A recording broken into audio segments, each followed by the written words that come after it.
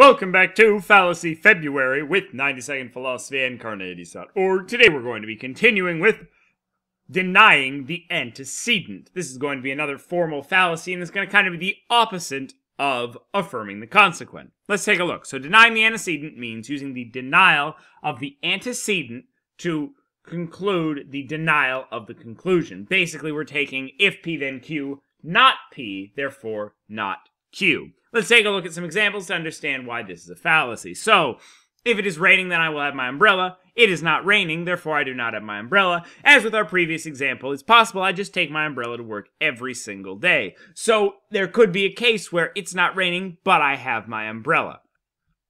If we build a house with brick, it will be stable.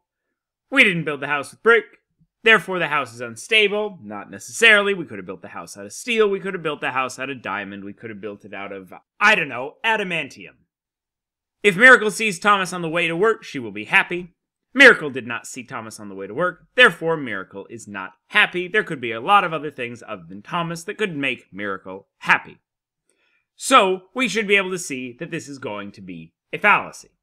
That was denying the antecedent. Also, today we did rules of replacement answers 1, Yesterday was affirming consequent and double negation. Next time is going to be appeal to force and transposition. Watch a new video every single day for 100 days here at carneades.org. And stay skeptical, everybody.